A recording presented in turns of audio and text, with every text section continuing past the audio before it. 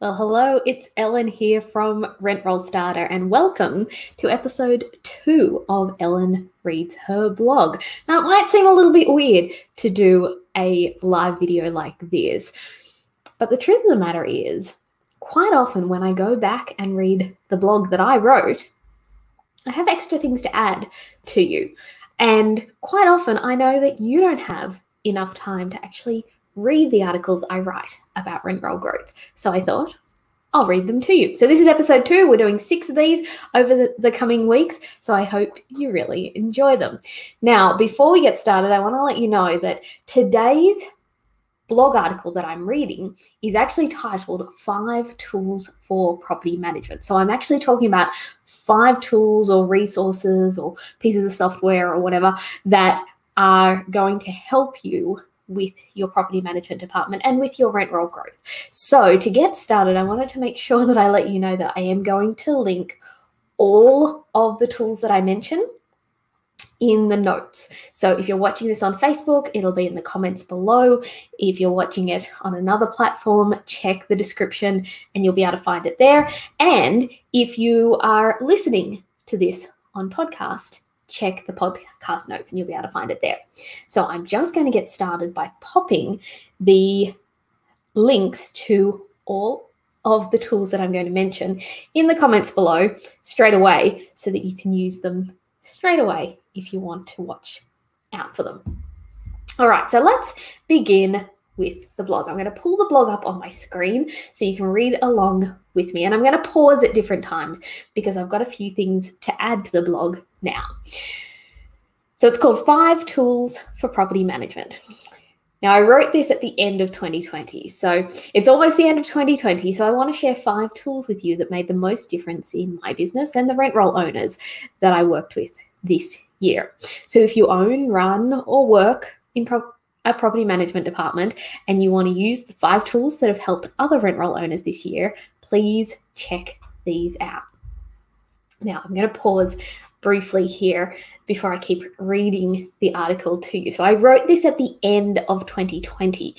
However, as I've revised all of these tools, these are still probably in my top 10. So, I'm pretty excited to share them with you. So, let's keep reading.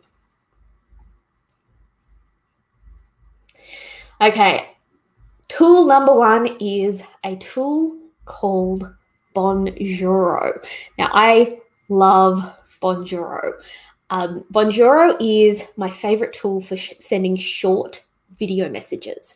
So you can use it for any prospective landlords, and you can use it to update your current landlords as you finish an open home or as you're finishing a routine inspection. So this is such a great way to buy yourself some time after finishing a routine inspection and as you prepare and send the inspection report.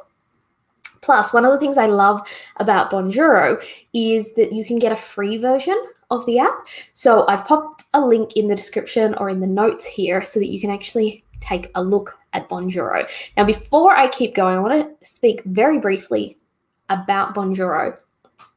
Uh, so I would suggest if you've never used it before, just download the free version to begin with. That's all you need. And then just start practicing by sending short 30 to 60 second videos. Now, these are not bulk messages, these are messages that you send to individual clients. So, a couple of ways that I encourage you to use this messaging platform. One is when you get a lead for a potential landlord come in and you can't get them on the phone straight away. So maybe they've submitted a form on your website or they've come in through uh, one of the, you know, local agent finder type websites. So they've come in there, so you've got their email address, maybe you've got their phone number, and of course you've you're going to ring them first, but maybe you don't get them on the phone straight away. Being able to be face to face with someone or on the phone with someone is absolutely the best way to communicate with a potential landlord. However, if you can't get them on the phone straight away, and if you can't um, get in front of them straight away, then I think video is the next best thing. So, pulling out your phone, recording a quick 30 to 60 second video, letting them know that you either have tried to call or you're going to try to call is a fabulous way to connect. So definitely use it that way when it comes to new business. And then when it comes to existing clients, then you could be looking at working with um, using Bonjoro on an ongoing basis to be in communication with your existing clients. So, a couple of ways you might want to look at doing this is uh, when you finish an open home or a private inspection. Now, you might be using inspect open home software, so you might send a report to your landlord almost straight away that shows how many people were interested, maybe how many people have requested an inspect uh, an application. So you might send all of that. But sometimes a landlord just really wants to get a little bit more detail. So you can whip out your phone, record a 30 to 60 second message for your client and let them know how the inspection went and how many applications you're expecting and then what the process is from here, just so that you're buying yourself some time if you need to. Again, you can do the same thing with a routine inspection. If you're finishing a routine inspection, you could even pull out your phone and record on Bonjoro as you're pulling the door behind you. So you're leaving the house and you pull the door behind you and say, Hey, Mr. Landlord, I'm just wrapping up at your house. I've just done the inspection. Uh, this is how it looked. This is what happens next. So it can just buy you some extra time as well so that you've got a bit of time to get that report out to the landlord, especially if you maybe want to organize some repairs to be done or a quote to be done or something like that, or you want to do up a CMA so that you can actually look at reviewing the rent, then that's a great way to buy yourself some time. So that's absolutely one of my favorite apps, and that is why it's towards the top of the list in this list of five. So let's keep moving. Number two is Canva. Now, this is probably no surprise to you. You probably use Canva already. Uh, truth is, I am terrible at graphic design. So are so many of my clients who are rent roll owners. So that's why we use Canva. Canva is like the ultimate tool for your social media posts, ebooks, listing presentations, just everything. It's just the most amazing tool. If you are not using Canva yet, please start using Canva. There's a link in the description or in the comments below. Um, and of course, you can just use the free version of Canva as well. So if you love the idea of getting some Canva templates, send me a message. Um, I've got a couple of Canva templates. I've even got a listing presentation Canva template. It's not populated, but it's a lovely design that can work really well. And I'm happy to send it to you for free, and you can just download it into your own Canva account. So if you have a Canva account and you want some like that listing presentation template, or I just recently created a beautiful desktop template as well that allows me to organize the desktop on my computer. So if you'd like that, shoot me a message on whatever platform you're listening or watching this on uh, so that I'll, and I'll gladly share them with you totally free. All right, number three is the pmXcite resource bundle. Now, pmXcite is the most amazing training platform for property managers. Um, my friends Sean Lee Draper and Terry Handy are the amazing founders of pmXcite. But in particular, I want to mention the their free pmXcite resource bundle.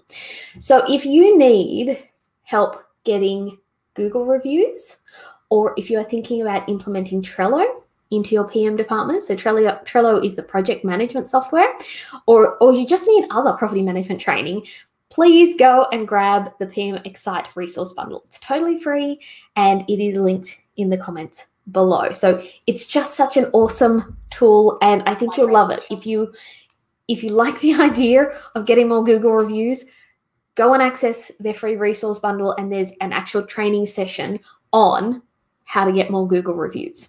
Super valuable. Go and check that out. All right, let's keep reading. Number four is my Christmas email template and office sign. Now, just keep in mind, I'm just going to pause this for a moment and come full screen. Keep in mind that I did write this article at the end of 2020.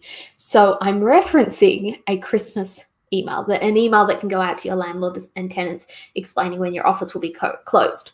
However, I'm still going to mention it today because if you close for long weekends, uh, if you have a staff development day where you're not going to be in the office or something like that, and you just need a template for that sort of thing, you can still use this Christmas letter. Let me keep reading. So, if you're planning to close your office at all during the Christmas period, even if it's just for the public holidays and you want a template that you can use, including a Canva template that you can put up as a sign in your office. So, again, you can just download this template into your Canva account and use it as a sign on your front door. I have created this for you. So, it's been downloaded by hundreds of rent roll owners. And if you would like a copy, you can grab a copy of my Christmas email template. I've popped it in the comments below here on this live video. If you're watching it somewhere else, you'll be able to download that Christmas template in the notes section of wherever you are watching this video. I think the thing with closing our offices, no matter when it is, whether it's just for a long weekend, whether it's for staff development day, or whether it's for Christmas or Easter or something like that, I think the most important thing we can do is communicate with our clients. So if you want a template of the letter or the email that I used to send to my clients, um, you're welcome to grab it in the comments below. All right, we're on the home stretch. Let's finish reading. Number five is 16 social media post ideas. Now, if you are struggling to come up with ideas on what to post on social media, I've put together a list of 16 different types of posts you can use in your social media strategy. And if you enjoy that list, then you are going to want to register for the Social Summit, which is our free social media training, especially for rent roll owners. And it will be coming up again soon uh, at the end of 2021. And yes, that list is all free too. So uh, if you want that list of 16 different social media ideas that you can download um, and use for your own social media, then you can just click the link in the comments below, or you can just head to rentrollstarter.com forward slash 16 posts. So let me finish by wrapping up my blog, and then I've got one last little thing I wanted to share with you. So that's my top five tools for 2020, and they're the ones that my clients have loved the most too. And if you want a bonus favorite, check out my free training, Five Ways to Grow Your Rent Roll. It's on demand and ready for you uh, and I'll make sure I link that in the notes below as well. So, they are my top five tools from 2020. I wanted to add one more resource that I absolutely love and have fallen in love with even more in 2021, and that's the Elite Agent magazine. So, if you have not subscribed to it, please make sure that you subscribe to the Elite Agent magazine. You will not regret it. So that's like number six on my list as well. But I want to hear from you. What are your top favorite tools for property management? Like, what's the one or two tools that make your job just that little bit easier, make things run a little smoother, and make your life that little bit easier each and every day? Let me know in a comment below.